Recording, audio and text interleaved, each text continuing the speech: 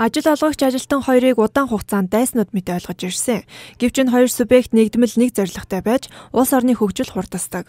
Үүнийг Герман, Швейцар гэх мэт олон улсын жишээнээс харж болно. Энэ ажлыг эх орондоо хэрэгжүүлэх зорилгоор баялаг бүтээгчдийг дэмжих холбоо Монголын үйлдвэрч нэвлийн холбоотой хамтран ажиллах санамж бичигт гарын үсэг зурлаа. Бид нар одоо ажил олгогч, ажилтан анги бүгд нийлжиж одоо тэр хоёр маань ойлгосчээж бид нар цаашдаа явнаа. Энийг нь төрийн бодлогоор төр өөрөө төрийн бодлого шийдвэр болгож одоо хууль тогтоомжинд оруулж ирж засгийн газрын шин зэрэглэлийн бодлогондоо тусгалж тийм ээ. Ингээд бид нар хамтын хүчээр энэ сар дахлаас үүдэлтэй эдийн засгийг давах учраас өнөөдөр Монголын үйлдвэрч нэвлэлийн байгууллага Монголын баялаг бүтээгдэхүүн дэмжих холбоо хоёр хамтран ажиллах санаж байд гарын үсэг сурж байгаа. Энэ түүхэн явдал болж байна.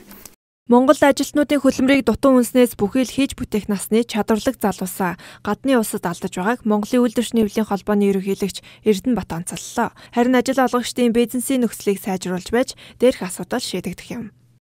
Тэгэхээр манай их их залуучууд маань одоо гадаад руу гарч ажиллах биш үндэснийхээ үйлдвэрлэлийн одоо байгууллагууд ажиллаж эндээ бол одоо монголчуудынхаа дундад цалин хөлсийн орлогыг нэмэгдүүлэхэд бол одоо манай хувийн эвчлийн салбарын нөлөөлөл бол маш их одоо нөлөөтэй аа. Тийм учраас бид нар бол одоо Монголын үйлдвэрчний холбооны мэрэгжлийн холбоод, мэрэгжлийн үйлдвэрчний нэвлийн холбоод, хувийн хвшлийн үйлдвэрчний нэвлийн холбоод, за мэрэгжлийн одоо хувийн хвшлийн байгууллагуудын төрийн бас байгууллагуудтайгаа илүү хамтын ажиллагааг нь ойртуулах зорилгоор бол өнөөдрийн санамж хүчийг хамтын ажиллагааныхаа одоо бас гарааг бол эхлүүлж байна. Энэхүү хоёр байгууллага хамтран ажилласнаар цаашид төр засгийн шийдвэрт баялаг бүтээгчид үйлдвэрчдийн эрх ашигыг тусгах ажил илүү эрчимчнэ. Мөн санамж бичигт гарын үсэг дурах үедээ дараагийн уулзалтаа товлож ажлын хөтөлбөрөө боловсруулахар боллоо.